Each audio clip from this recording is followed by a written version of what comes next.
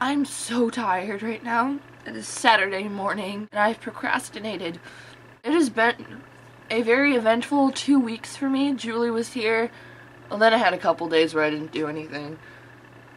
And then last night was like, or yesterday was like road trip, fair, road trip back, stayed up for a really long time.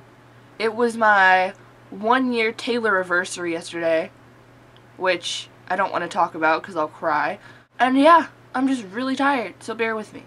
The theme this week is 13 word bios, and we have to make a bio uh, with 13 words in it about ourselves and one for Taylor as well. And the challenge is Speak Now Time Machine, where we have to go back to the day before or the day of when Speak Now was coming out. So my 13 word bio would be 15 sophomore YouTuber, enchanted Swifty, drama major, techie, performing arts kid, California wannabe. I think wannabe is one word.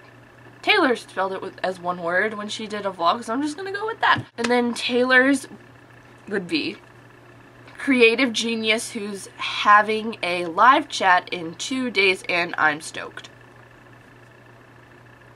For the challenge, oh jeez, I have to get awake for this because, okay, let's just put it like this. On the morning when Speak Now was coming out, I was not like, I'm tired. so I have to wake up. Uno momento.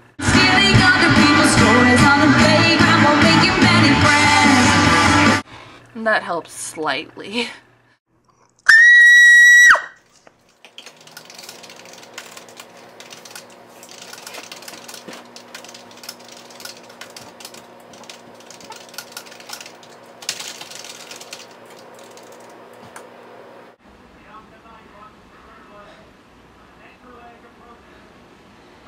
It's time to go to Target and get my Speak Now. I'm not in school. It's Monday. I'm supposed to be in school, but I'm not there because I'm going to go to